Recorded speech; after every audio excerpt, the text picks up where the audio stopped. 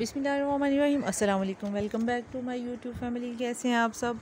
Hopefully सब खैरियत से होंगे, फिट फाट होंगे, अपने घरों में मुस्कुरा रहे होंगे। तो आज की इस वीडियो में आप देख रहे हैं बहुत ही खूबसूरत से स्टाइलिश से नेक के डिज़ाइन तो ये लेटेस्ट है, आप हमारे चैनल पर हमेशा देखते हैं न्यू ट्रेंड और ट्रेंडी आइडियाज़ तो ये नेक का जो है बटन्स के साथ उसको डेकोरेट का ज़माना जो है वो चेंज हो चुका है, अब न्यू ट्रेंड आ चुका है। बीट्स के साथ मिरर के साथ और टसल्स के साथ लोग अपनी नेक को स्टाइलिश बनाते हैं। तो उम्मीद हो आपको ये वीडियो पसंद आएगी। चैनल पर नहीं होते हैं सब्सक्राइब कर लीजिए। वीडियो को लाइक ज़रूर कीजिएगा। अपना ख्याल रखिएगा। अल्लाह हाफिज़।